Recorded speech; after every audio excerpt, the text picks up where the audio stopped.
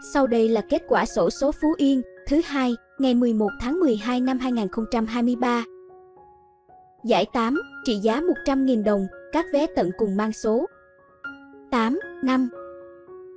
Giải 7, trị giá 200.000 đồng, các vé tận cùng mang số 0, 2, 4.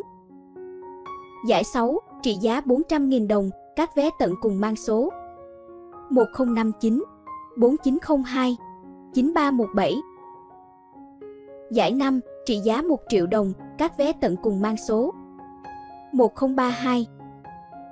Giải 4, trị giá 3 triệu đồng, các vé tận cùng mang số 38897, 78859, 55193, 93591, 80815, 91063, 87396.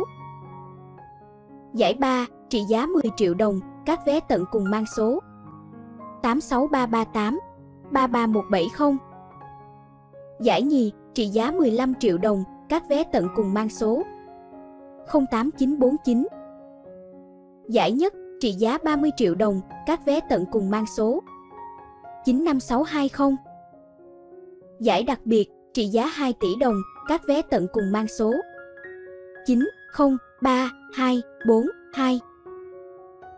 Xin nhắc lại, giải đặc biệt trị giá 2 tỷ đồng, các vé tận cùng mang số 903242.